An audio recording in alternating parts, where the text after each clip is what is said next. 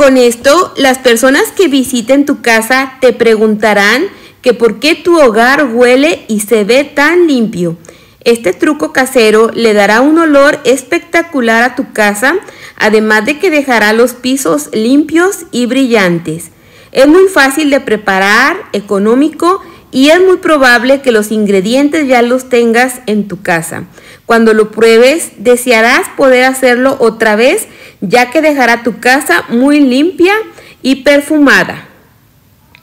Los ingredientes que vamos a necesitar es un cuarto de taza de alcohol, una cucharada de jabón líquido, una cucharada de pasta dental,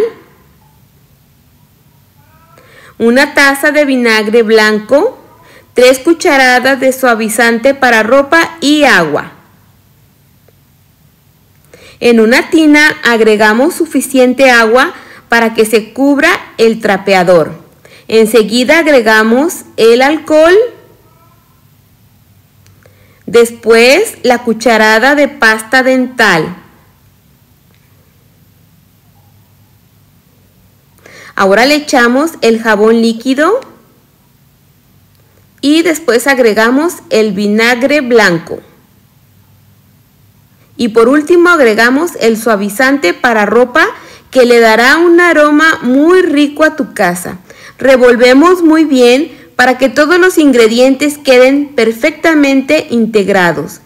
Ahora sí, metemos el trapeador en la tina y lo empapamos muy bien con la mezcla.